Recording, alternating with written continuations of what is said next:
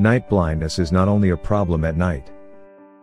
While night blindness, or nyctalopia, is a condition that sounds like a vision problem, in the night.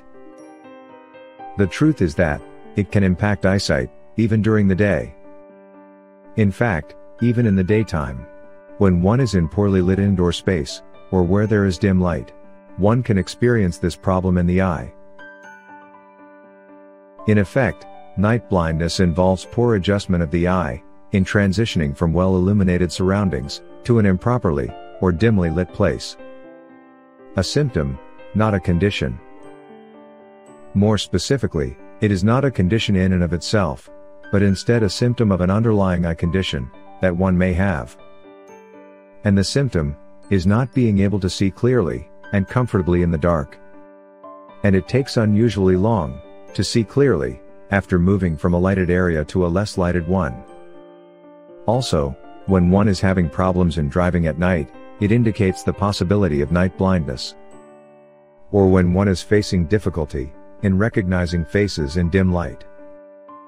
Some of the other symptoms may include cloudy vision, problem in seeing faraway objects, reduced contrast sensitivity, headaches, eye pain, nausea and vomiting. What happens to the eye in dimly lit space?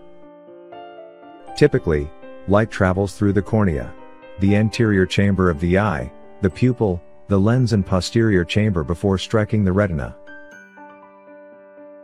When people with night blindness enter a low light area, the rod cells in the retina, which serve as photoreceptors, and are responsible for converting light rays, into electrical signals, creating what brain interprets as images, because of some anomaly, don't function properly. As a result, the person has problem in seeing in the less lighted area. Causes of night blindness. Night blindness can be attributed to a wide range of eye conditions. These can be as follows. Myopia, cataracts, vitamin A deficiency, glaucoma, retinitis pigmentosa, diabetes and Usher syndrome. While in myopia, one has difficulty in seeing far into the distance, it is the clouding of the lens which leads to cataract. Due to vitamin A deficiency, there is lack of pigments, needed for photoreceptor cells, to function properly. Then whereas glaucoma, is caused, by abnormal pressure, in the eye damaging the optic nerve. Retinitis pigmentosa entails retinal damage due to genetic defects. And diabetes can lead to diabetic retinopathy and the consequent damage to blood vessels, resulting in poor vision, in dim light and at night. Usher syndrome is a genetic disorder characterized by hearing loss, as well as retinitis pigmentosa.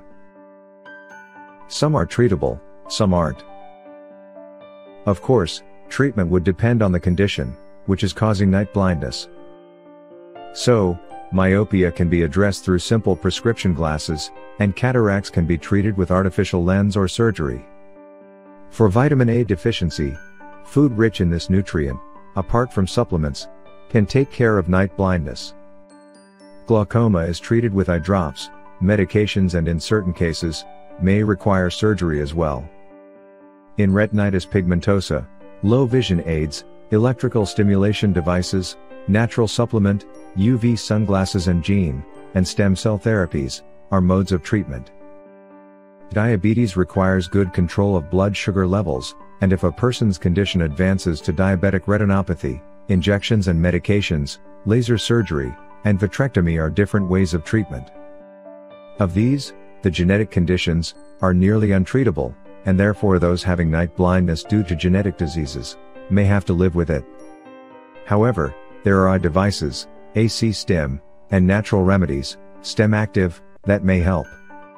Even individuals, with untreatable conditions, can benefit significantly from low vision aids, which help improve their quality of life, immensely using special devices and gadgets. What preventive steps one should take?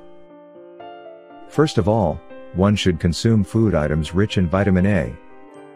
These could be carrots, broccoli, spinach, strawberry, milk, eggs and foods rich in omega-3 fatty acids such as mackerel and salmon. Second, one should maintain a healthy exercise and fitness regime which would keep both eye pressure and blood glucose levels in control. Third, one should also look out, and for manage chronic conditions, such as diabetes and hypertension. Fourth, one should get examined regularly by an eye doctor. At the slightest hint of having symptoms of night blindness, one should get a checkup done. Also, one should make lifestyle adjustments, in response to those symptoms. For example, one should avoid driving at night in case of certain conditions with severe night vision impairment. And lastly, one should use some effective remedies, to restore and slow down the vision loss process, and maintain the life quality, as long as possible. Such as STEM active, alternating current stimulation. In sum, if one has night blindness, one should remember that even in the daytime, one would have difficult in seeing clearly in less lighted areas. So, it is not only a problem in the night,